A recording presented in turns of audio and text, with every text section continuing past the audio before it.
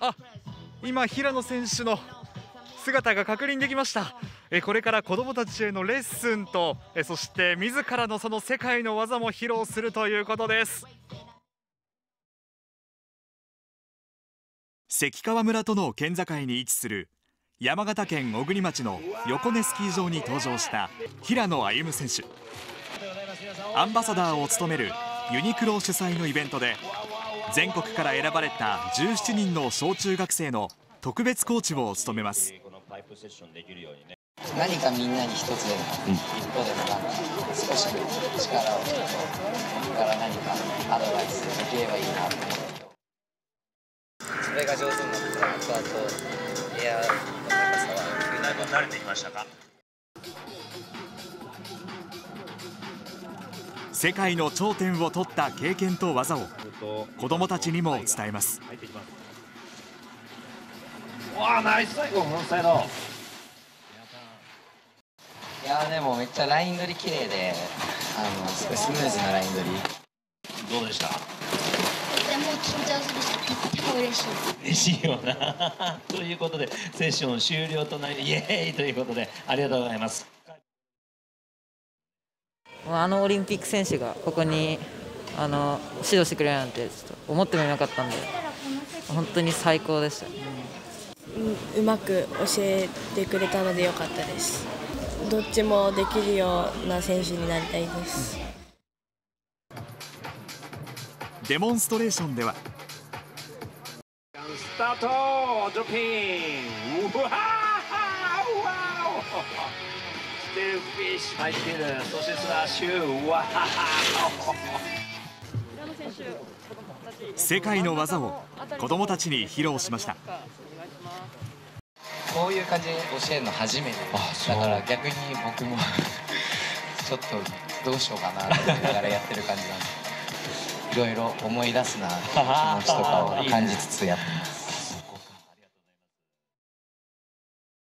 実はこの横根スキー場平野選手がスノーボードを始めたまさに原点ともいえる場所ですここで本当4歳の時から中学2年3年生ぐらいまで、まあ、ずっと本当毎日通い詰めて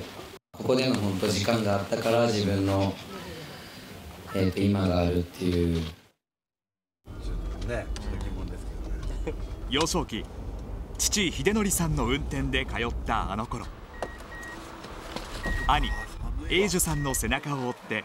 練習に励んでいました。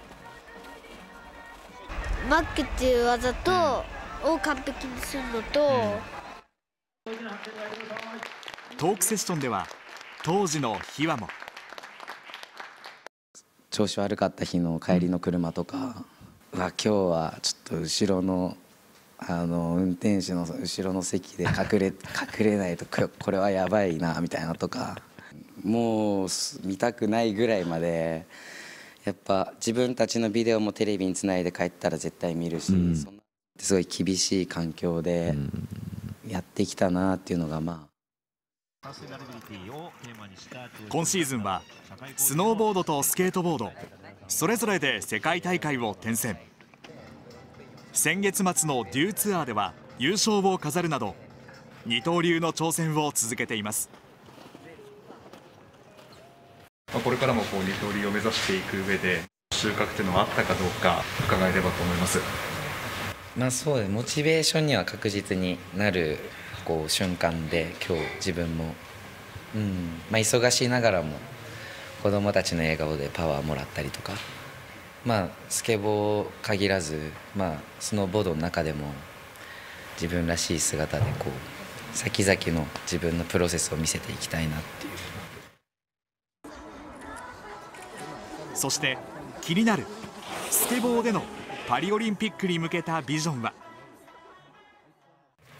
引き続きスケートボードはこう続けていくと思うんですけど大会は今はそんなこうかんあの前ほど考えてない状態なので、まあ、また何かそういう気持ちになった時にチャレンジできるようにちょっと、はい、スケボーもあの地道に、はい、続けていきたいなと思ってます。